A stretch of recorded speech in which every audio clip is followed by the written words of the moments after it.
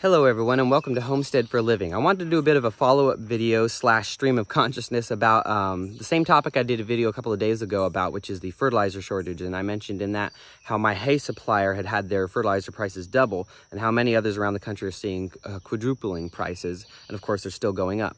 And in the comments, there was a lot of folks talking about how, um, making comments about how you know, this is not necessarily a bad thing and, and uh, we shouldn't be relying on chemical fertilizers and it shouldn't be an issue kind of for regenerative farmers or permaculture people. And they are correct. However, the reality of the situation is a little bit different. Now on this property, we are doing as much as we can to produce our own fertilization. We don't buy any chemical fertilizers on this property. We don't bring any fertilizer, even organic fertilizers. This is the fertilizer we use. We make our own compost. Um, we bring in wood chip or uh, sawdust from a local sawmill that I buy for $20 for truckload. Some nice fine stuff. And then our chickens and our rabbits do a great job of providing us with the nitrogen we need to make that compost pile happen and to make it start produce. And then that's applied to our vegetables or whatever else we're growing.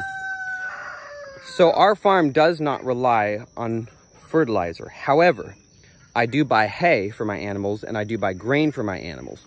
While we're working on making our systems more self-contained so that we can provide all of their food, the reality is it takes a long time and it's very difficult to really completely feed all of your animals from a piece of property.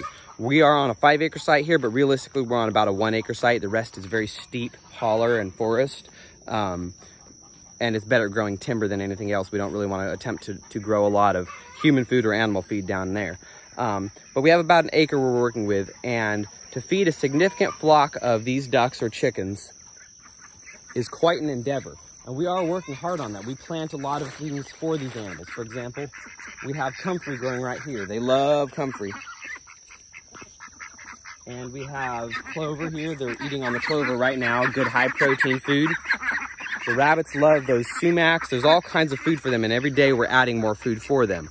But the reality is I'm still pumping grain into these animals. It takes a lot of grain, a lot of hay for my rabbits, and those things require fertilizer to grow and sell because every time you sell a hay bale or a chicken or a carrot or any kind of food, with it goes the fertility that fed it. So if you had X amount of fertility on your land coming from fertilizers or manures or composts, that plant or that animal took those nutrients into their body and then you sent that away. You sold it and you sent it off your property and you're not getting that fertility back unless you sell it to somebody and they their waste goes back onto your land. And so if I'm so my suppliers of hay and grain certainly rely on fertilizer. They cannot continue. The hay field that I buy from, they're or, they are organic. They don't um, use anything nasty on the land. But the reality is every time they sell a hay bale, they lost nutrients from their soil and they have to replace them with some kind of fertilizer.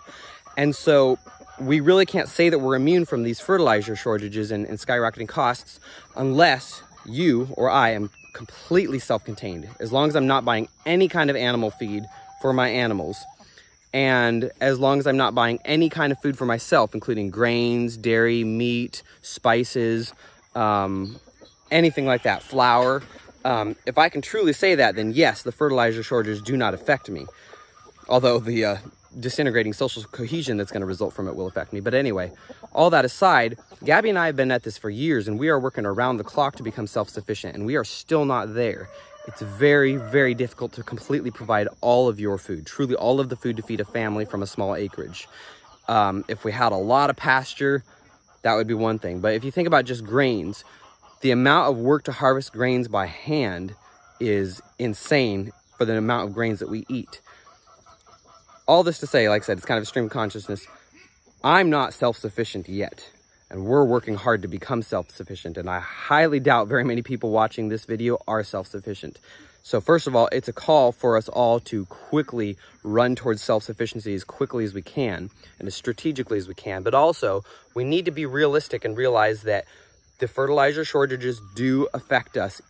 The shortages in things like soy affect us. Even though we don't want to eat soy, when that food goes away, the market's going to absorb other food sources. Even if you're buying all your food from an organic farm that doesn't use any kind of inputs, if they're somehow completely self-contained, more people will be buying their food and that's still going to affect your supply. So we're not immune and that means we do need to start thinking about solutions really quickly.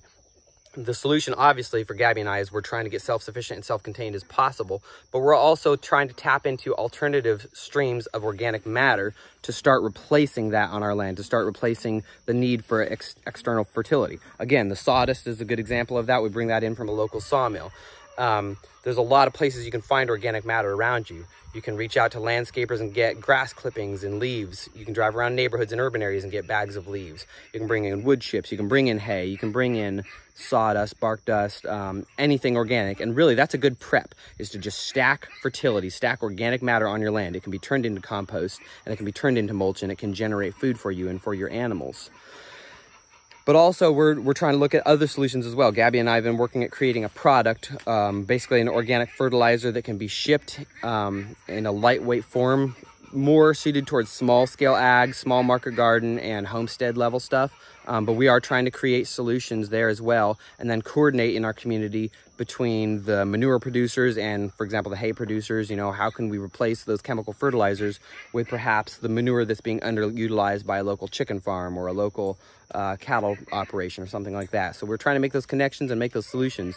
But it would be foolhardy for any of us to think that we are immune simply because we believe in regenerative agriculture. If we're still eating anything that comes from commercial agriculture that relies on fertilizers, we're going to feel the impacts of this. And this isn't a call to be afraid or stressed out about it. It's a call to create solutions. And again, sprint towards self-sufficiency as quickly as possible. So hopefully that's a, a useful stream of consciousness there, y'all. In the meantime, everybody stay safe, be well, and happy homesteading.